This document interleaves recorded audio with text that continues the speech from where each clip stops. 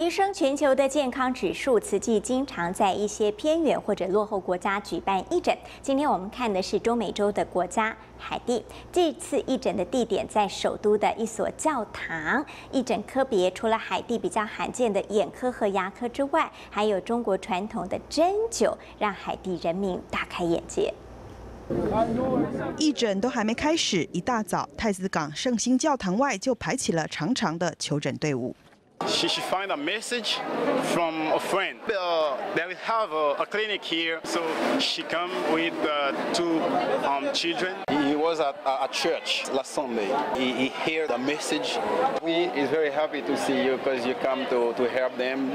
由于看诊人数众多，慈济职工特地设置了座位区，让大家耐心等候。而看诊科别除了常见的小儿科、内科、妇产科之外，还有在海地罕见的牙科及眼科。另外，中医针灸更是成为当地护理人员观摩取经的重点。When I show the stretching routines they need to learn and teach the patients. We serve the near our base first.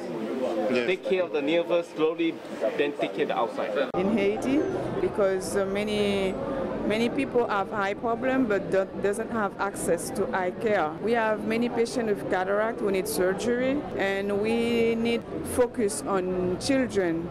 这次义诊，美国仁医会动员了八位医师前来支援，加上海地当地的二十位医师及五十八位本土志工，才能让义诊在忙碌中顺利为民众解决病苦。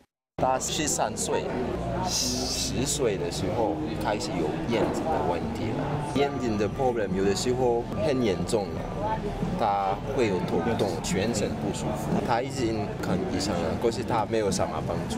The DIMA doctors come from the United States to come over to support people.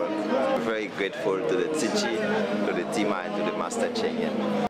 本土职工对自己乡亲的互助，就像一股善的力量，正推动着海地朝更好、更茁壮的方向前进。大新闻周四月里又达黄建良海地报道。